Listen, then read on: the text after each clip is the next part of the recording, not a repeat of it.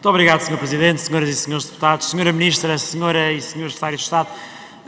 Veja, nós ficámos muito surpreendidos com o anúncio do Governo, o relatório do Orçamento do Estado, para uma suposta estratégia de combate ao desemprego jovem. Não é porque não seja necessário, porque é, mas porque, Sra. Ministra, começou muito mal.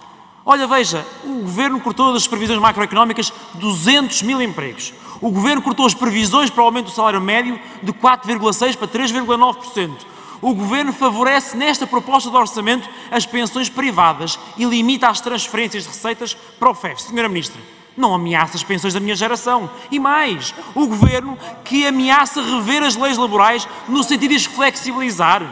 Ou seja, no sentido de encorajar a precariedade. Ó, oh, Senhora Ministra, a precariedade é um entrave à emancipação da minha geração, mas é também um entrave à subida dos salários. E mais, o governo que reviu já os estágios profissionais, e aí, olha, que desastre! Acabaram com o prémio emprego, ou seja, com o incentivo às empresas para contratarem os estagiários. Reduziram a comparticipação para, para a economia social, equiparando-as às empresas com lucro e psicólogos, jornalistas, nutricionistas são todos prejudicados no seu acesso à profissão por causa do encurtar da duração do estágio.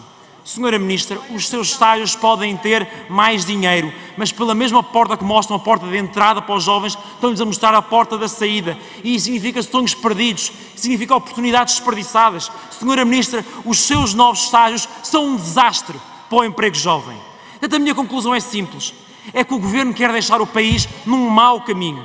E por isso, se quer combater o desemprego jovem, só tenho mesmo uma coisa para lhe pedir: nos direitos laborais, nos salários, nos estágios, pare de fazer marcha atrás. Está na hora de reconhecer e valorizar o emprego dos jovens. Muito obrigado.